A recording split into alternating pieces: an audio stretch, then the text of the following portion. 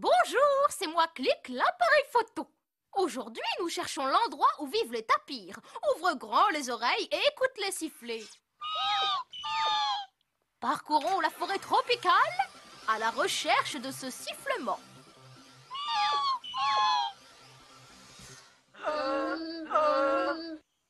Est-ce le sifflement des tapirs?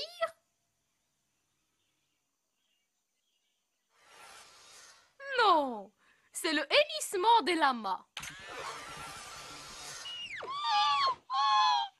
Est-ce le sifflement des tapirs Oui, c'est bien ça. Tu as trouvé des tapirs.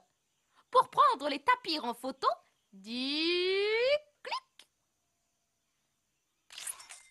Parfait, beau travail. Tu peux aller dire à Diego que tu as trouvé des tapirs.